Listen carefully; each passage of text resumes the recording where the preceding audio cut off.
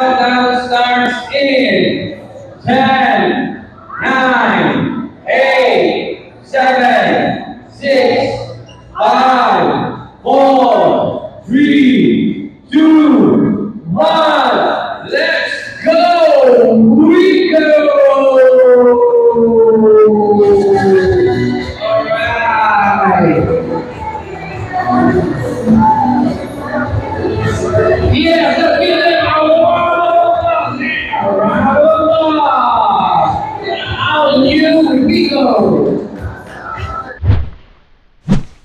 So, nandito tayo ngayon sa Toyota Quezon Avenue at ah, dito ngayon ang launching, ngayong araw ay launching ng ah, Toyota Wigo, the 2024, the Toyota Wigo.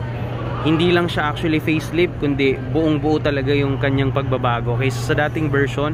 So, pag tinignan natin mamaya, even exterior and interior design niya, halos kamukha siya ng race.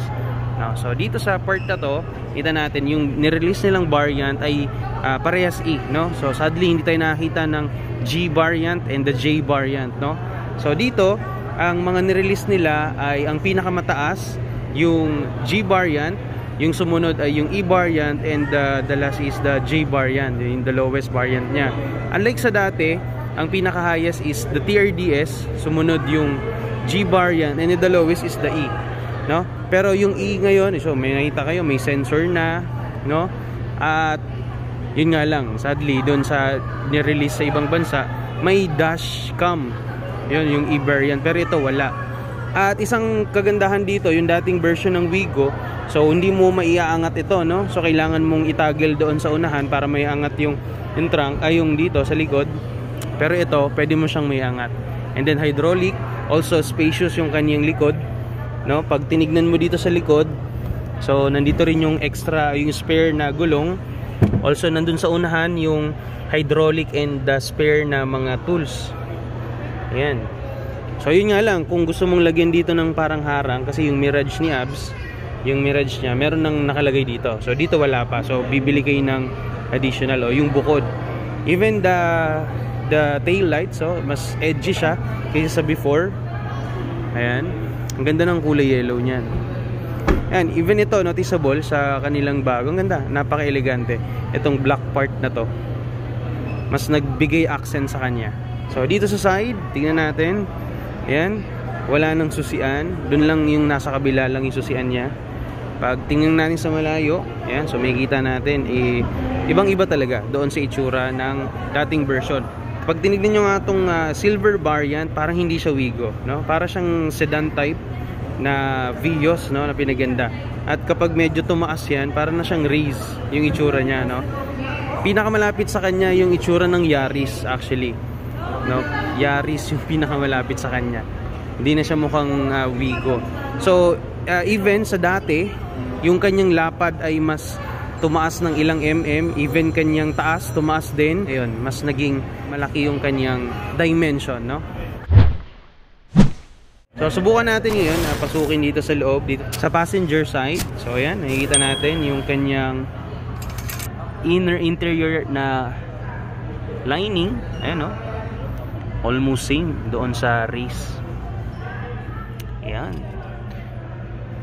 At napaka-elegante ng kanyang mga upuan almost same din naman talaga sa dati kapag umupo ka rito try natin umupo yan so komportableng komportable. Sa height ko na 5'8 and a half nakaupo ko ngayon sa Wigo. So may konting clearance. So may ganyan na clearance dito pag nakaupo ka sa passenger side. Ayan. So hindi naman masyadong sukdo sa'yo. Pero pag siguro pag 6 footer ka siguro medyo tataas na sa'yo to at maaabot mo na yung pinakataas no? Ayan. So, swak na swak talaga sa mga medyo cute lang in size, no? Sige, try natin pasukin sa loob yung sa kanyang uh, driver side naman, no? So, yung cute ng side mirror niya, natin niyo. Pero naka-zoom out siya. Kahit na maliit siya, kitang-kita mo yung nasa side mo.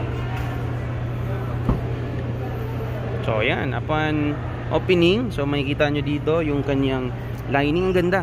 Ang ganda ng kanyang uh, design, no? Napaka-elegante. So sana same same din sa J variant niya no kasi ito ay E variant. So ako po ay nakaupo na rito sa passenger side. Ah sorry, sa driver side. So, yun po. Pag nakita natin sa side mirror, pag tinignan nyo, ang liit, no? Pero pag tinignan nyo sa ah, rear view niya, sakop na sakop yung both side ng magkabilang dulo ng ano, bintana nyo sa likod, no? So, kitang-kita naman. And also, hindi OD, 1 din yung ginamit. Unlike sa J-Bar yan, 1 din yung ginamit. Pero dito LED panel na. So, ah, nandito yung kanyang ah, hazard. And also, yung vent ng aircon. Doon din. Tapos may lining dito na, na elegante. Tignan. Yan.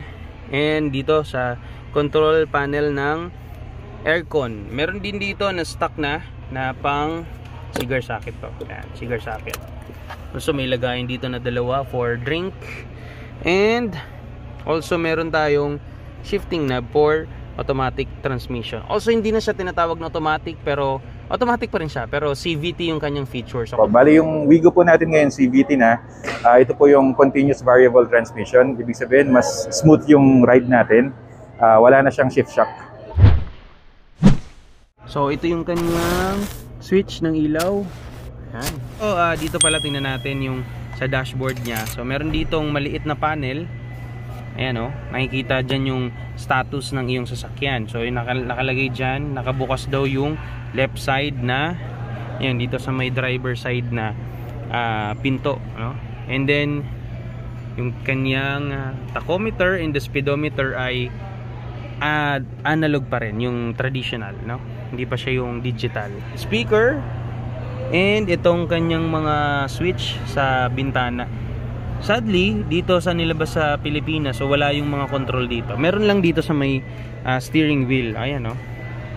Yan yung mode niya, yung pwede mong manex, pwede mong babawasan yung music, and also the ah, answer and microphone. So, tingnan natin kapag nakasara. So, yan, kapag nakasara, kahit maliit lang siya tignan, pero sakop na sakop. Kitang-kita naman yung nasa ah, side natin. Even doon sa side na yun, ayan o. Ayan, kitang-kita pa rin naman. So, tingnan naman natin dito sa kanyang passenger side, dito sa likod. So, yan, spacious din. Subukan natin umupo. Yan, ako po ay nakupo, 5'8 and a half. So, may konting space na lang dito sa side na to. Ayan o, dito, ganito na lang siguro yung space. Pero pag nasa gitna, puko natin. Yan. Yan. Konting-konti na lang talaga. Ito na lang, dalawang daliri na lang na magkapatong. So, sa straight body. Maliban na lang kung ganito ka ah, uupo. So, tingnan naman natin itong kulay silver variant niya. Actually, eg- elegante rin tong variant na ito eh, no? yung kulay silver niya. Para lang siyang maliit na rush. Ayan, oh, ang cute niya, tingnan. Yan, di ba? Di mo mapaghahalata ang Wigo. Ayan, oh. Mukha siyang rush, di ba? Ang cute talaga ng kulay yellow niya. Pag nakita nyo in person, ibang-iba talaga yung dating. Yan, so kung gusto nyo pong bumili ng ah, Toyota Wigo 2023, so dito lang po yan sa Toyota Quezon Avenue. Hanapin nyo lang si Sir Nico Adonis na mag-guide sa inyo. Siya po ay isang ah, ah, marketing, Marketing professional. professional regarding pagdating sa mga Toyota vehicle. So, yan po, marami rin po silang mga ano dito, unit dito. So, ayan oh, nasa likod ko. And also the all new ah, Toyota Wigo. Ayan, yung kulay yellow and kulay ah, silver nilang variant. Marami pa silang variant na lalabas, hintayin nyo lang at mag-inquire lang kayo sa kanya kay sir at i-flash ko dyan yung kanyang calling card at pwede nyo po siyang contact. Sir Nico, maraming salamat po. Salamat po. Para lagi kang updated sa mga video ni Bomber Either, mag-follow at mag-subscribe ka na para lagi kang updated sa mga informative video niya. Ride safe mga kabomba. Hora aay.